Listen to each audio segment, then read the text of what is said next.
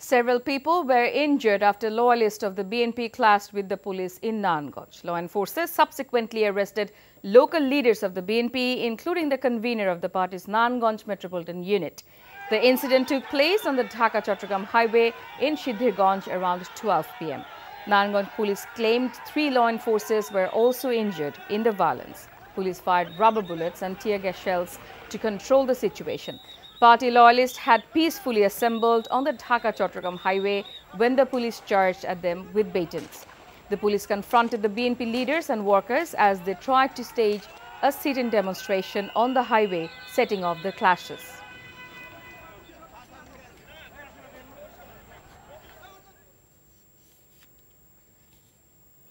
A delegation led by Prime Minister's Assistant Private Secretary Gazi Hafizur Rahman Liku visited BNP leader Amanullah Maan, who is undergoing treatment at the National Heart Institute. During the visit, Aman was presented with lunch, various seasonal fruits and juices sent by the Premier as a gesture of concern for his health and wishing him a speedy recovery. He said to Aman, Prime Minister Sheikh Hasina has sent food, fruits and juices for him and asked to inquire about his health. He also said the Premier will also make arrangements if Aman wants to go to any other hospital for treatment. Aman accepted the gifts and thanked the Premier for her gesture and political etiquette.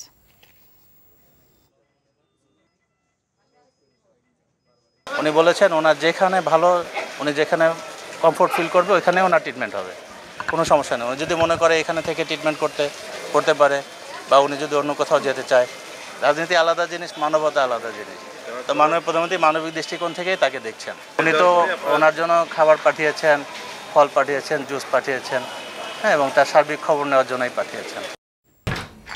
এখন বিকাশ অ্যাপেই পাবেন দেশের প্রথম digital loan. Prime Minister Sheikh Hasina said Bangladesh's young generation would be the key force in building smart Bangladesh. The Premier said this while inaugurating the first ever two-day Bangladesh Startup Summit in the city's Hotel Intercontinental as the chief guest. Mentioning that Bangladesh will be a smart country by 2041, the Premier said the young generation is meritorious and they have the ability to implement their new innovations. She said the government formulated necessary policies to protect your investment. This event makes যে এইভাবে সাহস হিসাবে এগিয়ে আসছে। কাজে আমি সবাইকে প্রাণডালা অভিনন্দন জানাই, আর বিশেষ করে কিছুক্ষণ আগে যাদেরকে আমি আমি চাই আমাদের যুব সমাজ একটা কোনো মতে বিয়েটা পাশ করেই বলবে, চাকরি দাও চাকরি দাও চাকরি দাও। চাকরির পিছনে ঘুরবে কেন?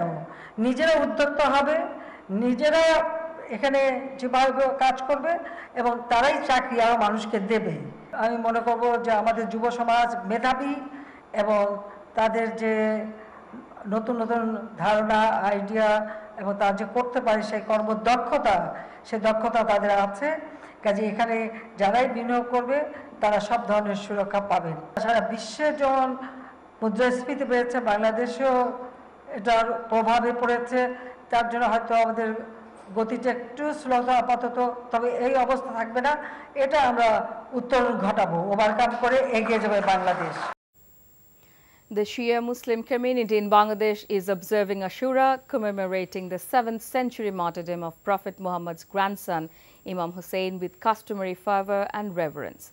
Devotees mark this occasion by participating in a procession known as Tajia or a replica of the mausoleum of Hussein.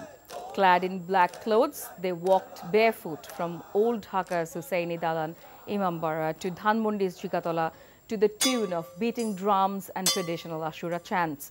Every year, mourners lead the procession out of the Imambara and march along Dhaka streets before stopping at a symbolic Karbala ground in Dhanmundi. Ashura is observed on the 10th day of the lunar month of Muharram in the Islamic calendar.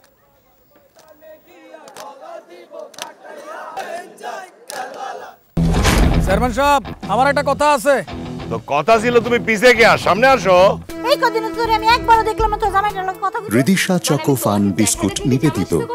নতুন ধারাবাহিক নাটক প্রবাসী পরিবার। আগে তো খালাম্মার নামে পাঠাইতো।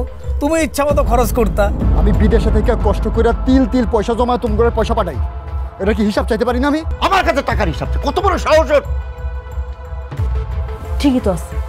হ্যাঁ বিদেশ থেকে টাকা পাঠায়। তোমার কাছে হিসাব চাইব না তো কার কাছে হিসাব চাইব? পাশে পাশে কাছে? রচনা ও পরিচালনা মারুফ রেহমান। এটা কি সালাম দেওয়ার জায়গা? ভাবি আমি মাছ রাখতেও পারি না আমি মাছ কাটতেও পারি না।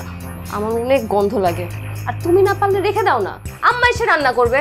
আর নয়তো কাজলকে বলে দিচ্ছি কাজল এসে রান্না করবে ঠিক আছে? না গো দেখবেন বৃহস্পতি শুক্র ও শনিবার রাত আটটা বিশ মিনিটে এনটিভিতে। এখনও নাম্বার মনে রাখছো? মনে রাখিনি।